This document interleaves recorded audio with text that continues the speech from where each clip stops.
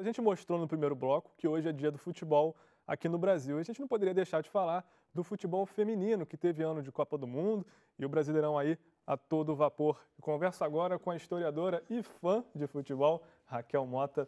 Bem-vinda, Raquel. Bom, nessa data, as mulheres também têm o que comemorar aqui no Brasil? Olha, para o futebol feminino, não. No futebol como esporte, sim, porque a gente é torcedora. Mas para a realidade do futebol feminino, nos moldes que é no Brasil, a gente não tem muito o que comemorar, não. Começando pela eliminação do Brasil mesmo nas quartas de final, nas oitavas de final da Copa do Mundo Feminino, né? A gente ainda chegou bem longe, né? Levando em consideração tudo aquilo que a gente passou, né? A CBF até divulgou que alterou um pouquinho a, a premiação né, da seleção. Sim, seria pago um valor melhor, mas ainda está muito longe do que o Brasil efetivamente deveria receber por causa da tradição do futebol, não apenas masculino, mas do feminino também, né? Raquel, é, essa semana, é, talvez por coincidência ou não, né, a gente teve muitos casos de críticas, de denúncias. Né? Uhum. Né? A gente teve a Emily Lima, técnica do Santos, contando aquela história das jogadoras que tiveram que dormir, quase tiveram que dormir no saguão do hotel, hotel. Uhum. lá em Manaus, e depois é, jogadores do esporte reclamando. Uma, chegou a circular uma foto na internet das condições do, do gramado do treino do esporte, com a grama super alta, uhum. quase não dava para ver a bola. Isso também é sinal de que, enfim, tem muita coisa para ser feita, né? Exatamente. É, a, a questão começou do esporte com a denúncia da Sofia Souza, né? Após a goleada para o Santos, da Emily, que reclamou mesmo da, da questão do futebol, né? E demonstra justamente o descaso com toda a base do futebol feminino.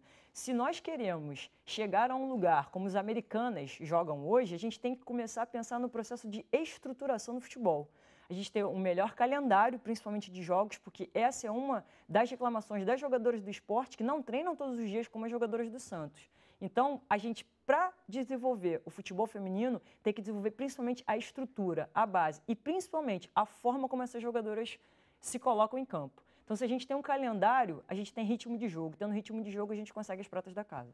Você falou dos Estados Unidos, né, das americanas. É, essa é uma data nacional, né? O dia do futebol aqui no Brasil. Uhum. É, na sua opinião, quem você acha que deveria ser o, o, o grande espelho assim que o Brasil deveria é, olhar para tentar melhorar esse futebol feminino aqui dentro, né? Como admiradora de futebol, alguém que, que acompanha, eu sempre vejo que a gente tem que ter como ídolo ou como alguém a seguir um modelo que dá certo. Hoje, a realidade do futebol feminino, o modelo que dá certo é o modelo americano.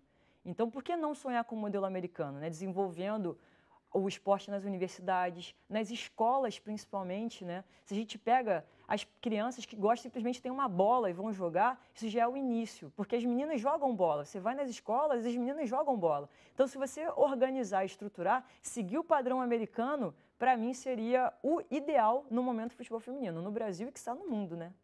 E falando do futuro, futuro imediato, né, agora, ao final da participação do Brasil lá na Copa do Mundo, muito se falou sobre a possibilidade de o Vadão não continuar uhum. à frente da seleção. Sim. É, você tem alguma informação ou tem alguma esperança de que algum nome surja aí para assumir essa é, seleção? É, então, essa semana a gente teve o nome da Pia, né, Sunhag, que foi a treinadora da seleção sueca, ganhou também com os Estados Unidos, foi treinadora da seleção americana. Então, o nome dela aparece como um nome forte, né, que pode ser cogitado. O interessante seria a primeira treinadora, né, internacional, estrangeira, na história do futebol brasileiro, né, treinando nossas seleções. A Pia desenvolveu um trabalho fantástico com a seleção americana, ela vem desenvolvendo um trabalho com a base da seleção sueca, e se ela vier para o Brasil, ela tem muito a somar. O Vadão, infelizmente, não apresentou bons resultados, né? ele já foi para a Copa do Mundo desacreditado, com nove resultados, nove derrotas, né? nove resultados negativos. Isso complicou bastante a campanha do Brasil e a campanha do Vadão na Copa do Mundo. Tá certo, Raquel. Muito obrigado pela participação. Muito um obrigado. Ótimo fim de semana com muito futebol, né? E sempre, muito futebol. Obrigada. Boa noite, pessoal do estádio.